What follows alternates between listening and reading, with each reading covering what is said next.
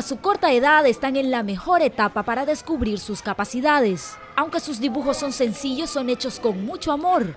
Y lo más importante es que los niños aprovechan su tiempo para apropiarse del arte y la cultura mientras permanecen en el CDI. ¿Te gusta dibujar? Sí, ¿Cuánto? un montón. ¿Y qué dibujas? Y el sol. Es que vino visita. Los muchachos de la juventud.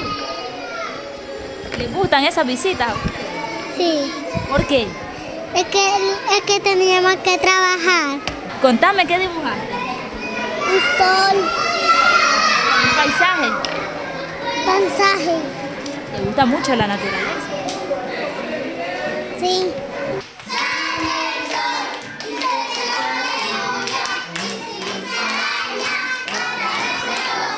El movimiento cultural Leonel Rugama y el Instituto de Cultura extienden la jornada de artes plásticas para niños.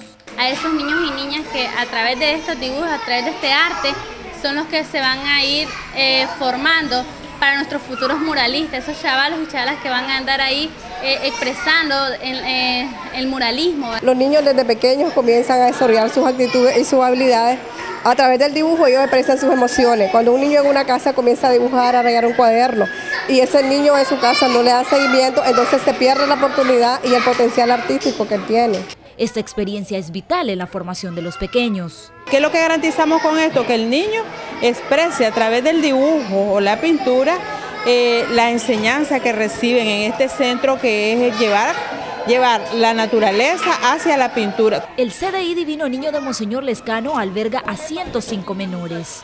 A todos se les atiende gratuitamente. Ellos permanecen 12 horas mientras dura la jornada laboral de sus padres. Dariela Falcón, lo que se vive.